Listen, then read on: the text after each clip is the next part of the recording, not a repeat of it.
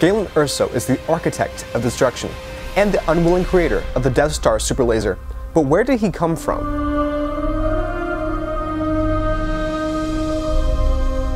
Hello Star Wars fans, my name's Joel Robinson, and this is the 16-day video countdown to Rogue One. Galen Erso was born and grew up on the planet Grange, a brilliant scientist he attracted the attention of both Republic and Separatist armies.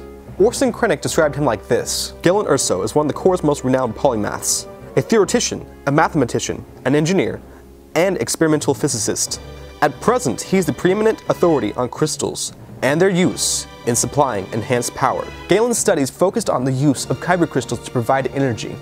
Orson Krennic wanted to use Galen's research for the Republic's secret superweapon, but Galen claimed no alliance to the Republic or Separatists when asked about the possibility of weaponizing the crystals. He saw science as having no side. Galen married an archaeologist named Lyra, and together they had a daughter named Jyn. At one point, Galen and his family were kidnapped by the Separatists and forced to study the use of kyber crystals in the Separatists' own weaponization attempts.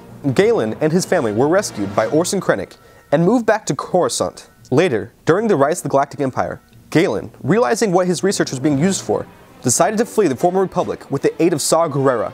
Saw helped Galen and his family escape to the planet of Lah'mu.